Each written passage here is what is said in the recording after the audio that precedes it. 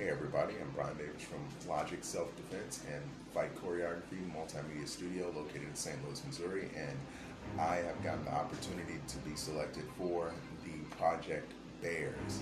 I will be playing the character Onyx, uh, along with uh, doing all the fight choreography and stunts for um, uh, for this project. Now, one really awesome thing about this project, and one of the reasons why I really wanted to do it, is because each one of the characters are very, very, very unique uh, when it comes down to their skill set. Uh, and I want each one of these characters to be able to embrace that on film, um, and, and well, in front of the camera.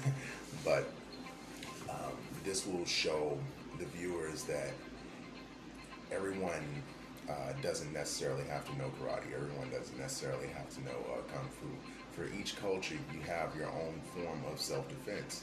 Uh, and I understood that at a young age, but a lot of times uh, it's kind of got misconstrued by media.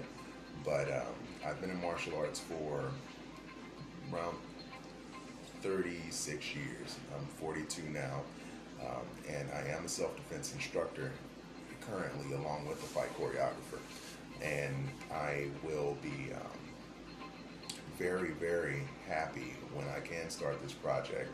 Um, I have worked on numerous films in the past. Uh, I've done done a lot of stunts in the course of in the past 10 years of me uh, being a self-defense instructor.